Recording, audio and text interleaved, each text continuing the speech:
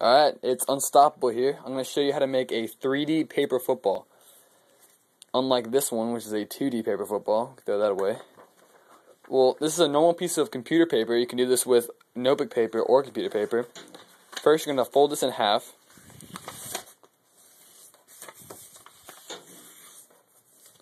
You're going to unfold that. Fold one of the sides you just folded in half in half. And you're going to cut off one fourth of your paper here.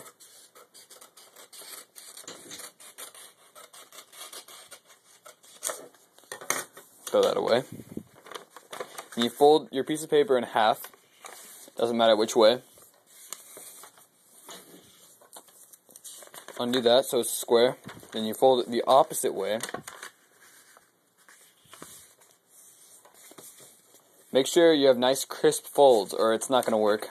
I'm going to go ahead and cut that in half into four pieces.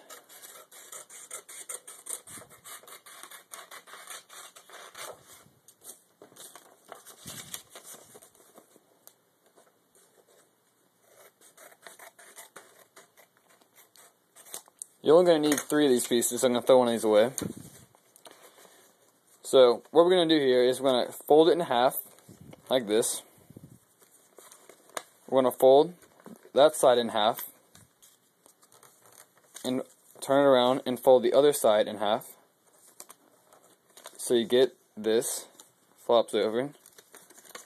So you fold one corner into the fold, then you fold this corner, the other side, stop fold, then you, this is the hard part, where you flip this corner over that corner, and flip this corner over that corner, like this, and you flip the whole side over on both sides, so you get this, and what you do here is you flip this over, and you flip the other side over, make sure you tuck this side under this, like this, and tuck this side under this.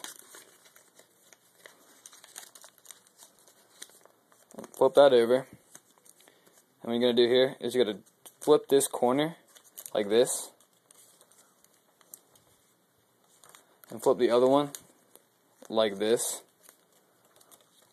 So it makes a box. And you're going to make three of these. So once you've made three of those, you put one one side into this little pocket here. And then you put this one right here into this pocket. So it makes starting to make a football like shape here. And what you're going to do is get your third piece, put it in here, bring that over, put this in here,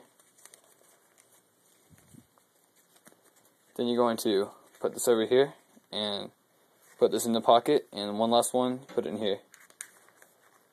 This will make a 3D paper football. So, just kick it. Much better than any other paper football because it's 3D.